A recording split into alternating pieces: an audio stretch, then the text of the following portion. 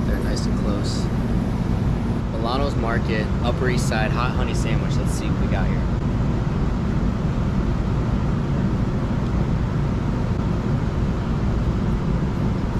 It's delicious.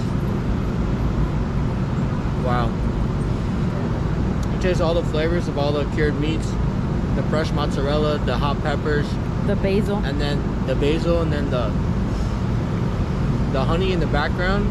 It's a nice touch. Very nice. Milano Market.